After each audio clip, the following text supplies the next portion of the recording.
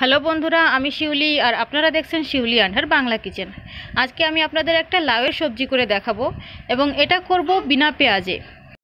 এই সবজিতে আমরা পেঁয়াজের বদলে মেইনলি রসুনের ব্যবহার করব। এই কারণে আমি এর নাম দিয়েছি রসুনি লাউ। যাই হোক, তরকারিটা খেতে কিন্তু অসাধারণ। একবার অবশ্যই ট্রাই করে দেখবেন। আশা করি আপনাদের খুবই ভালো লাগবে। তাহলে চলুন স্পেশাল রেসিপিটি দেখে নেওয়া যাক, কীভাবে বানাতে হবে।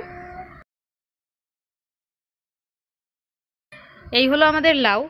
অ্যাকচুয়ালি আমাদের এখানে তো পেট মোটা লাউ পাওয়া যায় না বেঙ্গলের মতো। এই কারণে এই যে যেটা একে বলা হয় লকি, তো এটাই আমরা এখন ইউজ করব। আপনার কাছে যে ধরনের লাউ অ্যাভেলেবেল আছে সেটাই আপনি ইউজ করতে পারেন, কোনো অসুবিধা নেই। লাউটাকে প্রথমে আমি ধুয়ে নিয়েছিলাম, ধুয়ে নিয়ে তারপরে আমি ছিলে নিচ্ছি। পুরো লাউটাকে আমরা ছিলে নেব আর তারপরে এর আগে পিছের অংশটা বাদ দিয়ে দেবো কেটে। এই দেখুন, এই বোটার অংশটা আর এই মুখের দিকের অংশটা, এগুলো আমরা কেটে বাদ দিয়ে দেব। এবার আমরা এটাকে চাইলে ধুতেও পারি, না চাইলে নাও ধুতে পারি। কারণ প্রথমেই আমরা ধুয়ে নিয়েছিলাম, এবার আমরা এটাকে কেটে নিয়েছি। আপনি দেখতে পাচ্ছেন সাইজ আপনি আপনার পছন্দের সাইজে কেটে নেবেন।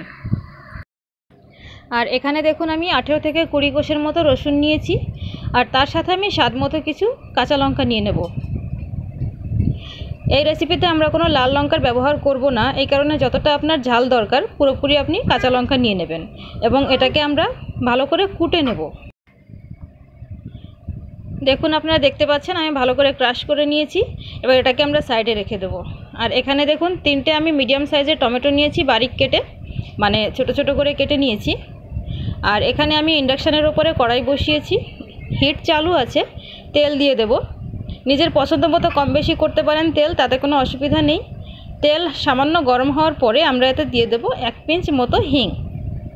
হিংয়ের সাথে সাথে দিয়ে দেবো আমরা হাফ টিস্পুন মতো জিরে। আর জিরের সাথে সাথে এখন আমরা দিয়ে দেব দুটো তেজপাতা আর দুটো থেকে তিনটে লাল লঙ্কা, শুকনো লাল লঙ্কা। এগুলোকে আমরা একটু ভালো করে ভেজে নেব।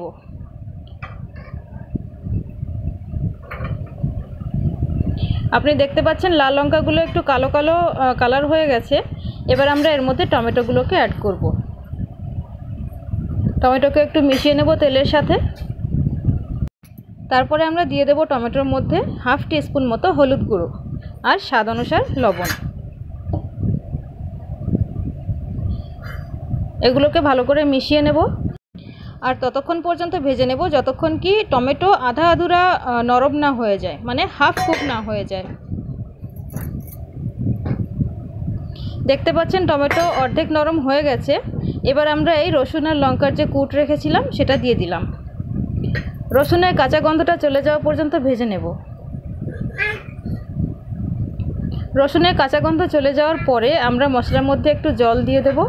আর জলের মধ্যে দিয়ে দেব আমরা ভেজে রাখা বাদামের গুঁড়ো। বন্ধুরা, ভেজে রাখা বাদামের গুঁড়ো এই রেসিপিতে খুবই ইম্পর্ট্যান্ট এর কারণে তরকারির স্বাদটা অনেক গুণে বেড়ে যায়। আপনারা চেষ্টা করবেন এই জিনিসটা দেওয়ার। আর যদি আপনার কাছে আগে থেকে বানানো না থাকে পাউডারটা আপনি কিছু বাদাম ভেজে নেবেন ড্রাই রোস্ট করে নেবেন, তারপরে মিক্সিতে হালকা মানে আধা কোটা মতো পাউডার বানিয়ে নেবেন। আপনি দেখতে পাচ্ছেন মশলাটা খুব ভালো করে কুক হয়ে গেছে। মশলার উপর দিয়ে তেল দেখা যাচ্ছে আর টমেটোও খুব ভালো করে সফট হয়ে গেছে। এবার আমরা এই কেটে রাখা লাউগুলো দিয়ে দিলাম। লাউটাকে ভালো করে মিশিয়ে নেব। এবার আমরা ভালো করে ভেজে নেব দু তিন মিনিটের জন্য। জল অ্যাড করার আগেই আমরা দু তিন মিনিট শুকনো করে ভেজে নেব। এতে কি হবে? সবজির স্বাদটা অনেক গুণে বেড়ে যাবে। দু তিন মিনিট পর আমরা এতে জল অ্যাড করব। আপনি নিজের পছন্দ মতো জল অ্যাড করতে পারেন। আপনার গ্রেভি কনসিস্টেন্সি যেরকম দরকার, যতটা গাঢ় আপনি সবজিটা চান, ততটা আপনি পানি অ্যাড করতে পারেন। ভালো করে মিশিয়ে নিলাম। আর এবার আমরা কিছু সময়ের জন্য ঢেকে দেব। মানে চার পাঁচ মিনিটের জন্য ঢেকে দেব। চার মিনিট হয়ে গেছে, এবার আমি ঢাকনা সরাচ্ছি। আর দেখুন, একবার চেক করে নেব লাউটা কতটা সিদ্ধ হলো। একবার মিশিয়ে নিই।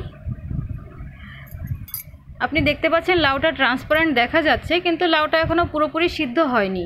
এই কারণে এখন আরও একটু সময় কুক করার দরকার আছে, কিন্তু এখন আর ঢাকার দরকার নেই। কারণ লাউ যথেষ্ট জল ছেড়েছে, এখন সেই জলটা আমাদের শুকিয়ে নিতে হবে। আরও ছয় সাত মিনিট লেগে যাবে, মোটামুটি সাত মিনিটের মতো লেগে যাবে। আপনি দেখতে পাচ্ছেন ছ মিনিট হয়ে গেছে গ্রেভি কনসিস্টেন্সি যথেষ্ট গাঢ় হয়ে গেছে, আর আমাদের সবজির কোয়ান্টিটিও যথেষ্ট কম হয়ে গেছে। এবার আরেকবার লাউটাকে চেক করে নেব কি ভালো করে গললো কি না লাউ খুব ভালোভাবে গলে গেছে। আর আমাদের এক থেকে দু মিনিটের মতো ওয়েট করতে হবে। বন্ধুরা, আপনারা দেখেছেন কি এই রেসিপিতে আমি কোনো জিরের গুঁড়ো, ধনের গুঁড়ো বা কোনো গরম মশলা কিছুই ইউজ করিনি। কিন্তু যে জিনিসটা আমি এখন ইউজ করব সেটা খুবই গুরুত্বপূর্ণ। আপনারা অবশ্যই এটা ইউজ করবেন। সেটা হচ্ছে ভেজে রাখা জিরে আর ধনের পাউডার এই দেখুন, এক স্পুন আমি নিয়েছি ভেজে রাখা জিরে ধনের পাউডার এটা খুবই গুরুত্বপূর্ণ বন্ধুরা, আমি আবার বলছি, অবশ্যই এই জিনিসটা অ্যাড করতে হবে। আর এই রেসিপিতে গরম মশলার স্বাদ একেবারেই ভালো লাগে না। আর এখন আমরা অ্যাড করব কিছু ধনে পাতা। আমার কাছে ফ্রেশ ধনে পাতা নেই, আমি শুকিয়ে রেখেছিলাম ধনে পাতা স্টোর করার জন্য, সেখান থেকে আমি দু টেবিল স্পুন মতো দিয়ে দিলাম। আপনার কাছে ফ্রেশ থাকলে ফ্রেশই দিয়ে দেবেন। ভালো করে নাড়িয়ে নেব, আর এক মিনিটের জন্য ওয়েট করব। আপনারা দেখতে পাচ্ছেন বন্ধুরা, এক মিনিট পর আমার সবজির কোয়ান্টিটি একদম পারফেক্ট হয়ে গেছে। এখন আমাদের আর কিছু করার একেবারেই দরকার নেই। আমাদের সবজি সার্ভ করার জন্য একদম তৈরি হয়ে গেছে। এবার আমরা হিট বন্ধ করব আর সবজিকে সার্ভ করে নেব। বন্ধুরা, আপনারা দেখলেন আমি কত সহজ প্রসেসে সবজিটা তৈরি করলাম। আর একটা কথা তো আমি অবশ্যই বলতে পারি কি, যতক্ষণ না আপনি এই সবজিটা ট্রাই করে নেবেন ততক্ষণ এর স্বাদের ব্যাপারে কোনো আন্দাজা লাগাতে পারবেন না। এটা খুবই টেস্টি হয়, খুবই ডেলিশিয়াস হয়। যদি আপনার রসুনের স্বাদ পছন্দ হয়ে থাকে, তাহলে এই সবজিটা আপনি অবশ্যই একবার ঘরে ট্রাই করবেন। আর ট্রাই করে আমাকে কমেন্ট করে অবশ্যই জানাবেন কি আপনার কেমন লাগল। চলুন বন্ধুরা, আজকের জন্য এ পর্যন্তই। দেখা হবে পরবর্তী ভিডিওতে ততক্ষণ পর্যন্ত ভালো থাকবেন, সুস্থ থাকবেন, আর খেতে থাকবেন। Bye bye